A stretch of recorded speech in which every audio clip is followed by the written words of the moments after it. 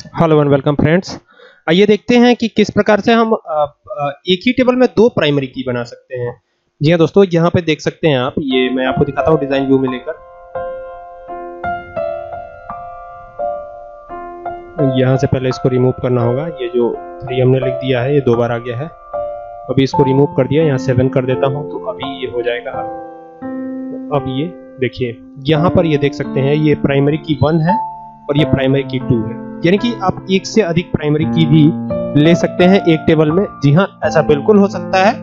और ये कैसे होगा? आइए देखते हैं। तो पहले देखिए, यहाँ पर जो फ़ील्ड मैंने बनाए हैं, पहला फ़ील्ड बनाया स्टूडेंट का रोल नंबर तो ये प्राइमरी की हो सकता है। ठीक है? प्राइमरी की डुप्लीकेट वैल्यू नहीं लेगा। यानी कि जो आपने कॉलम क्रिएट किया है, उस कॉलम में आप डुप्लीकेट वैल्यू नहीं रख सकते। यही प्राइमरी की का काम है। ठीक है?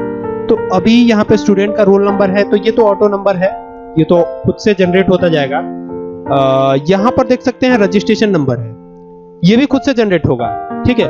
यानी कि ऑटो नंबर और रोल नंबर सेम हो सकते हैं, लेकिन जो फ़ील्ड है रजिस्ट्रेशन नंबर का, अगर आपने किसी का रजिस्ट्रेशन नंबर वन दे दिया तो आप दूसरे व्यक्ति का रजिस्ट्रेशन नंबर वन नहीं दे सकते। ये तरीका है, ठीक है? तो आइए इसको देखते हैं। यहाँ से ओके करता हूँ। ये पहले से मैंने बना के रखा हुआ है। अब देखिए, यहाँ पे रोल नंबर टू दिया थ्री दिया फोर दिया। इसमें कोई भी डुप्लीकेट वैल्यू नहीं इंक्लूड है। ठीक है? एक बार और आपको इसको डिज़ाइन व्यू में लेके मैं दिखाता हूँ।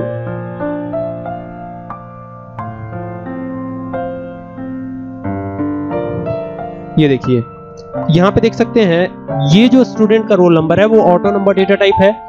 यहाँ पर इंडेक्सेस में देखिए, ये लिखा हुआ है यस नो डुप्लीकेट्स यानी कि डुप्लीकेट वैल्यू ये नहीं लेगा।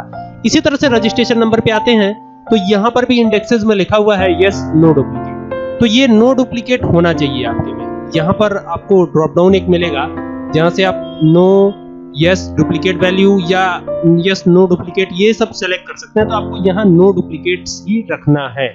क्योंकि प्राइमरी का प्राइमरी की का तो काम ही यही होता है कि डुप्लीकेट वैल्यू एंटर न करने दे। ठीक है? अब चलिए, यहाँ पर मैं क्या करता हूँ? रोल नंबर अब ये तो ऑटो नंबर जनरेट होगा। यहाँ पर मैं क्या करता हूँ? रितेश, ये नाम लिखा मैंने स्टूडेंट का। और अब नेक्स्ट कॉलम में आते हैं, और इन्होंने एडमिशन लिया है ओ लेवल में।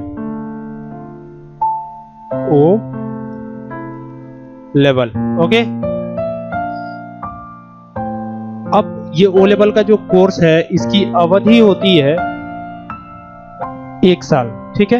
एक वर्ष, मैं लिखता हूँ यहाँ पे, ठीक है? और ये जो रजिस्ट्रेशन नंबर है, अगर मैं यहाँ पे सेवन लिख देता हूँ, देखिए यहाँ पे हिंदी में मैंने लिख दिया है, कोई बात नहीं। यहाँ पे सेवन मैं लिखता हूँ, ठीक है?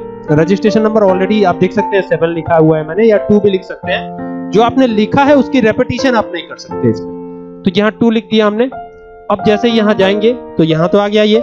अब जैसे मान लीजिए कि इसकी रजिस्ट्रेशन फ़ीस है चार हज़ार रुपए। तो यहाँ चार हज़ार मैंने डाला और जैसे ही यहाँ पर आने की कोशिश करेंगे तो ये एक एरर मैसेज आएगा।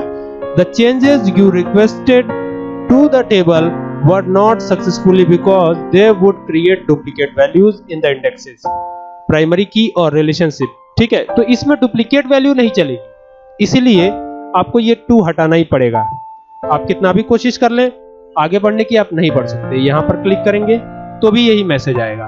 तो ये है हम एक से अधिक प्राइमरी की भी रख सकते हैं एक टेबल में। तो उम्मीद करता हूँ ये बात आपके समझ में आ रही होगी। रखने का तरीका क्या है? कैसे रखेंगे? यहाँ डिज़ाइन व्यू पे आएँगे। अब पहले इसको मैं हटा देता हूँ। ये जो टू लिखा मैंने, इसको ट्वेल्व बना देता हूँ। अब ये एक्सेप्ट कर लेगा तुरंत। देखिए, अब ये एक्सेप्ट कर लिया। अब देखिए मैं आपको बताता हूँ कैसे इसको आप करेंगे। अभी मैं इसको हटा रहा हूँ। जो ये वैल्यूज़ हमने ले रखी हैं, इनको मैं हटा देता हूँ। हट, हटा दिया मैंने। अभी सपोज़ कीजिए स्टूडेंट का रोल नंबर तो प्राइमरी की होना चाहिए तो यहाँ प्राइमरी की से मैंने बना दिया। अभी रजिस्ट्रेशन नंबर को भी बनाना है तो कैसे करेंगे?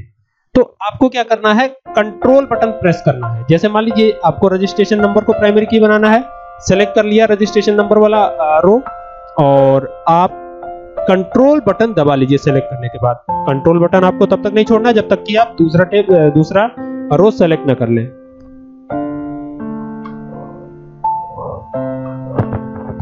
ये पहला रो ठीक है?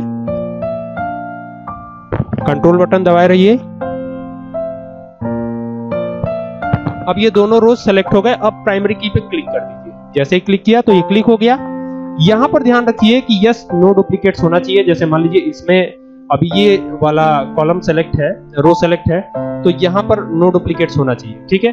अब यहाँ पर आते हैं, यहाँ पर देखते हैं। यहाँ पर सॉरी ये नंबर है। यहाँ पर भी यस नो डुप्लीकेट्स होना चाहिए। यहाँ पे आप देख सकते हैं इंडेक्सेस में दिया हुआ है, ठीक है यस नो डुप्लीकेट्स तो डुप्लीकेट वैल्यू ये नहीं लेगा। अब यहाँ से आप क्लिक करेंगे इस पे तो ये एक्सेप्ट हो जाएगा, और ये डुप्लीकेट वैल्यूज़ नहीं लेगा। तो इस तरीके से आप एंट्री कर सकते हैं। उम्मीद करता हूँ ये बात आपके समझ में आई होगी। अगर वीडियो पसंद आए तो इसको शेयर कर सकते हैं लाइक कर सकते हैं हमारे चैनल को सब्सक्राइब कर सकते हैं। Thank you for watching this video